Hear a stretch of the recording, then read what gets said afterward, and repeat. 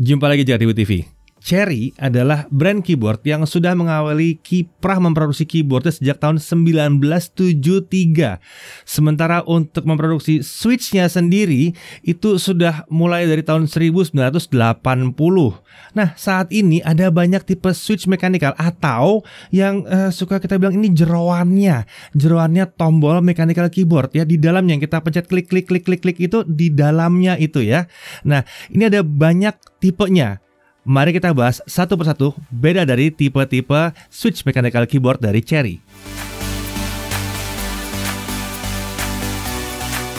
Nah, dalam memilih mechanical keyboard berbasis cherry switch yang menggunakan cherry switch, kita harus mengenal sifat dari setiap switch yang diberi kode dengan warna ini. Ada yang merah, ada coklat, ada biru, ada hitam, dan ada beberapa warna lain lagi ya.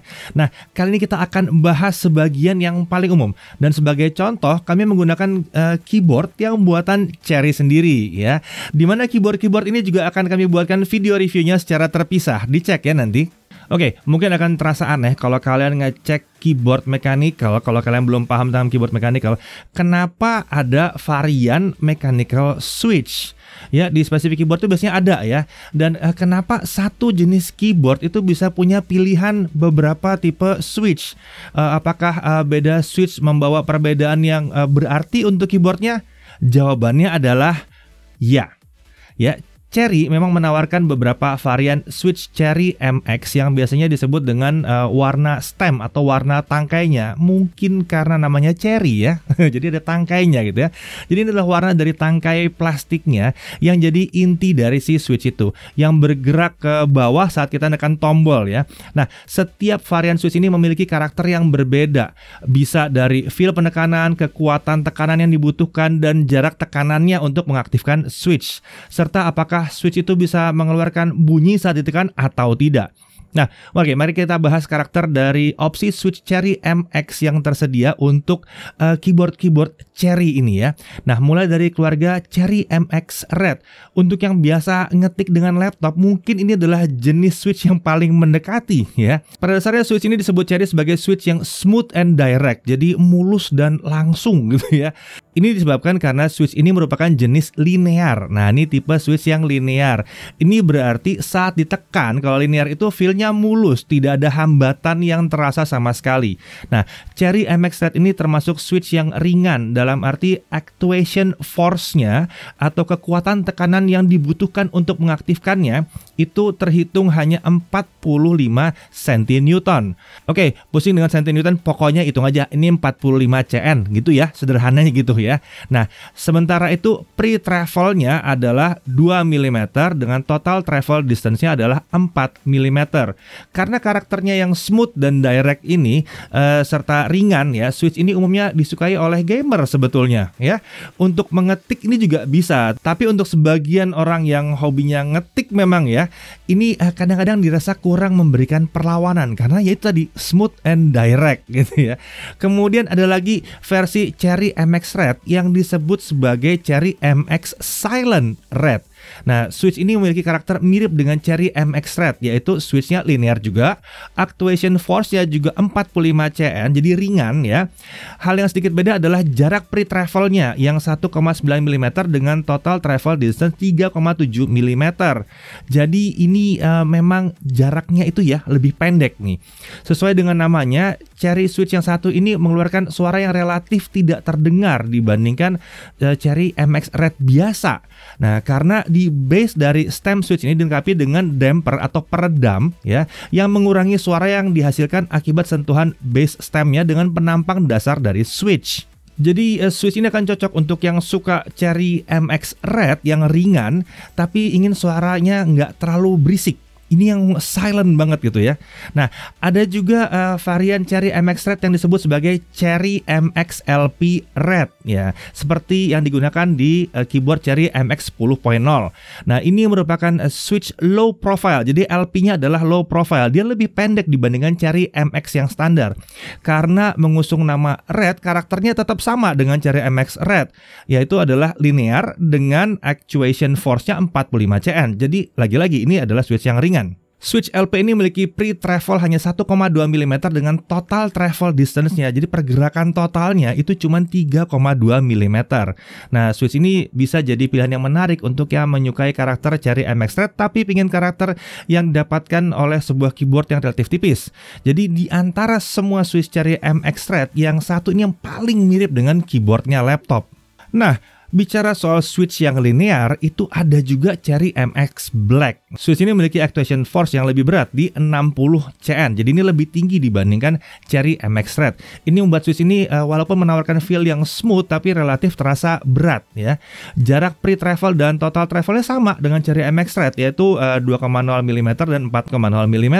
Switch ini umumnya disukai oleh gamer yang ingin keyboard dengan uh, tombol yang relatif berat saat ditekan agar kejadian tombol nggak sengaja tertekan tekan itu nggak ada gitu ya kadang-kadang ya mungkin mereka suka nyendarin jari di tombol nah ini kadang-kadang suka ketekan aduh nggak sengaja ketekan nah pakai yang black ini tidak akan mudah tidak sengaja tertekan. Nah, yang satu ini kalau dipakai untuk ngetik apabila kalian terbiasa dengan yang red atau mungkin dengan keyboardnya laptop, ya pasti akan terasa berat ya. Mungkin akan lelah di awal-awal ya.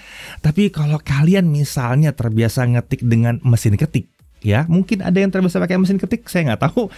Ini mungkin yang malah yang paling dekat karena ini yang paling berat memang yang black ini berat ya.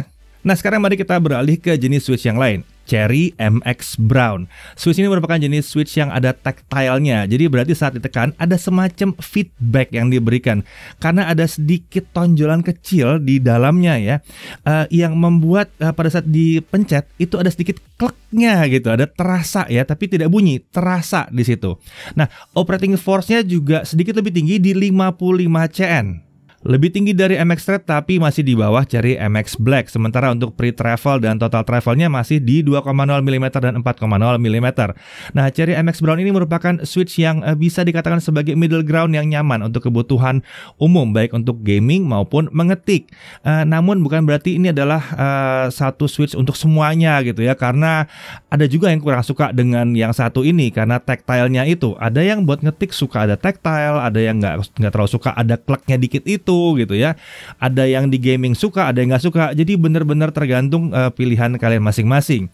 Nah, yang terakhir untuk opsi switch yang tersedia di keyboard Cherry yang kami coba kali ini ada Cherry MX Blue atau biru.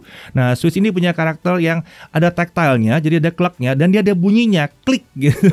klik klik ya nggak sekali doang sih ceklik gitu ya bunyinya. Nah dalam artian dia menawarkan tactile feedback yang mirip dengan Cherry MX Brown tapi juga dilengkapi dengan audible feedback atau feedback suara ya dan uh, suara klik ini terdengar jelas sekali suara yang clicky ini memang berbeda dari suara yang dihasilkan uh, Cherry MX yang lain di mana Cherry MX Blue memang ada mekanisme yang ditambahkan untuk menghasilkan suara. Jadi ini bukan karena kalian mencet terlalu keras tapi memang ya kalau kepencet dikit aja udah bunyi cek klik gitu ya. Nah, untuk operating force-nya itu mencapai 60 CN tapi sebetulnya rasanya tetap ringan. Iya, jadi walaupun dia 60 CN tapi ini beda dengan 60 CN yang black ya. Kalau yang black itu pada saat kita pencet dia bebannya memang 60 CN tapi pada saat setelah setelah dia mengalami aktuasi atau ya tulisannya tertulis di layar, kita masih terus lagi sebetulnya mencet dan itu lebih berat dari 60 CN. Bisa sampai 80 CN untuk menekan sampai ke dasar. Sementara kalau yang blue, yang biru ini 60 CN itu terjadi sampai dia ngeklik setelah dia lewat dari klik dan itu tertulis uh, kalau kita ngetik itu tertulis ya karakternya. Nah, di bawahnya itu lebih ringan. Jadi overallnya rasanya cuma buat nyekliknya doang 60 CN gitu. Jadi ini sebetulnya lebih ringan daripada yang black. Sementara itu jarak pre-travelnya adalah 2,2 mm dengan total travel distance di 4,0 mm. Cherry MX Blue ini dinyatakan cocok untuk yang suka audible feedback, yang suka ceklik ceklik ceklik gitu ya. Tapi ya perhatikan ya saat menggunakan keyboard dengan switch jenis ini jangan sampai orang di sekitar kalian merasa terganggu karena ini lumayan berisik. nah, selain beberapa Cherry MX yang tadi kita udah bahas ya, ada switch-switch yang lain juga, ada Cherry MX Speed Silver, ada Cherry MX Silent Black yang juga di umum digunakan untuk switch utama keyboard.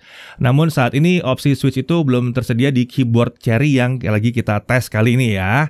Nah, sementara itu beberapa uh, switch lain seperti Cherry MX Green dan Cherry MX Grey, keduanya itu lebih banyak digunakan bukan sebagai switch utama tapi switch untuk tombol-tombol tertentu, khususnya seperti tombol yang ukuran besar untuk enter dan spacebar misalnya.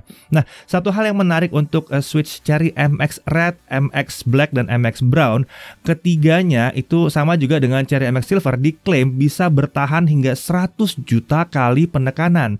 Ini ada merupakan bukti bahwa Swiss Cherry ini menawarkan durabilitas yang sangat-sangat tinggi. Membuat keyboard yang dipasangkan dengannya itu bisa punya umur yang luar biasa panjang. Oke, jadi uh, setelah penjelasan tadi sudah jelaskan kalian kenapa ada varian mechanical switch untuk mechanical keyboard. Pilihan switch ini tentu saja uh, sebaiknya disesuaikan dengan kebutuhan penggunaan yang ada dan preferensi pribadi kalian. Nah, kalau kalian uh, pernah tahu ada switch lain selain uh, Cherry yang juga pakai punya kode warna, itu biasanya akan menyerupai dengan apa yang dibuat oleh Cherry. Karena memang switch yang lain itu berusaha membuat pendekatan terhadap switch Cherry MX ini. Oke, seharusnya udah cukup jelas ya tentang perbedaan Swiss Cherry MX berdasarkan warnanya. Nah, untuk berikutnya kalian bisa lihat review keyboardnya di video selanjutnya. Saya Didi Irfan, Jaga TV TV.